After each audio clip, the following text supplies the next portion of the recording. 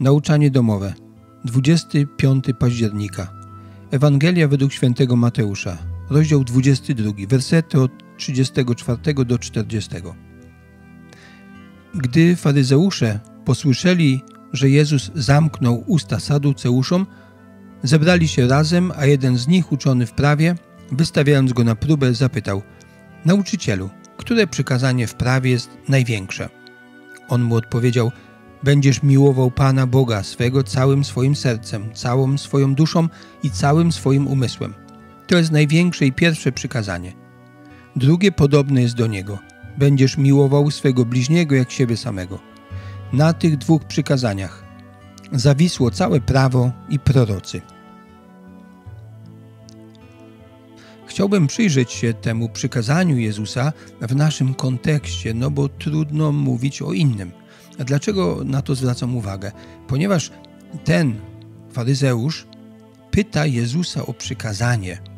Dzisiaj mało kto by tak powiedział.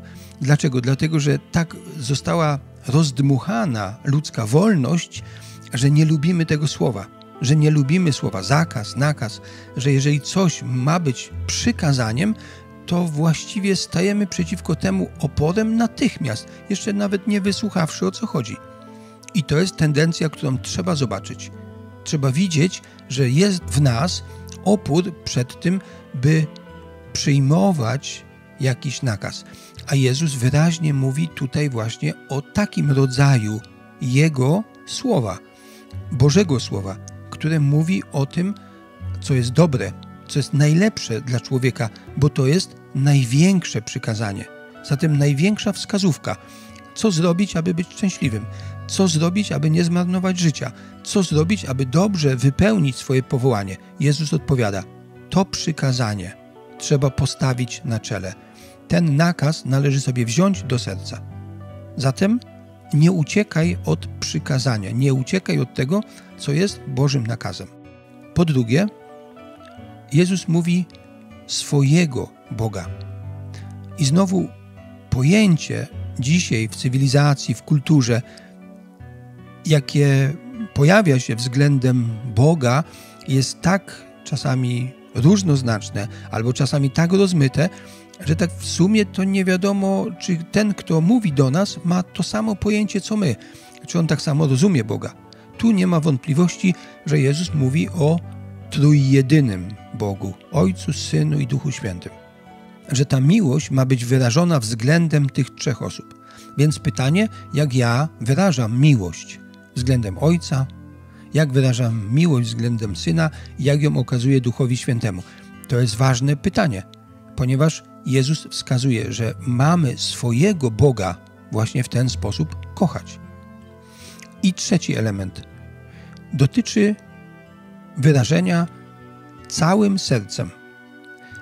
My bardzo często jesteśmy rozdrobnieni, bardzo często dzielimy nasze uczucia, nasze pragnienia, nasze marzenia pośród różne wydarzenia względem różnych podmiotów i w różnym natężeniu. A Jezus mówi o stu procentach miłości.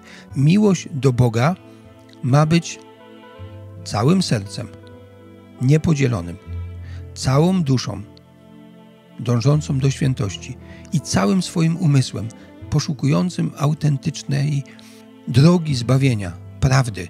Cały człowiek w stu procentach ma iść za Bogiem. Ma tego Boga czcić, szanować i kochać. To jest wyzwanie dla nas, aby rzeczywiście łączyć to wszystko, co w nas jest, każdy element naszej osobowości w tej miłości, by nasze emocje, nasze pragnienia, nasza wola, umysł, wszystko razem, by zdążało do Niego, by Jemu służyło, Jemu oddawało cześć i chwałę.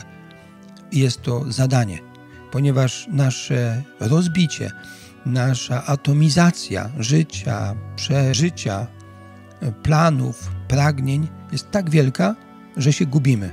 Więc trzeba wrócić do tego pierwszego przykazania, w którym chcemy być posłuszni, chcemy iść za konkretnymi osobami i chcemy całym sercem realizować tę drogę, którą Jezus nam pokazuje.